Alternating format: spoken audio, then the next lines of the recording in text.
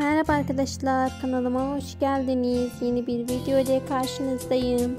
Sizlere yenilikleri bildirmek için her çalışıyorum. Sizler de videolarımı beğeniyorsanız kanalıma abone olup bana destek olun.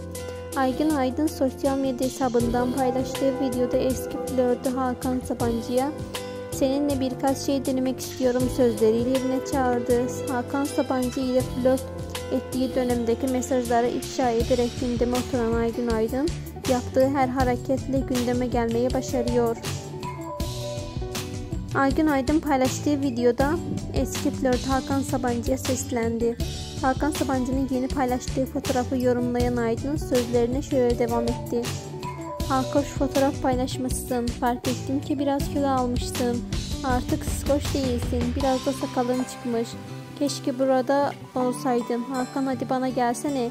Seninle birkaç şey denemek istiyorum sözlerini söyledi. En son güncel haberlerin hepsi kanalımda.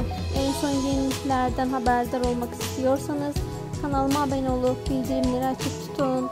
İyi seyirler arkadaşlar. Şimdilik benden bu kadar. Umarım beğenirsiniz. Videomu sonuna kadar izlerseniz mutlu olurum.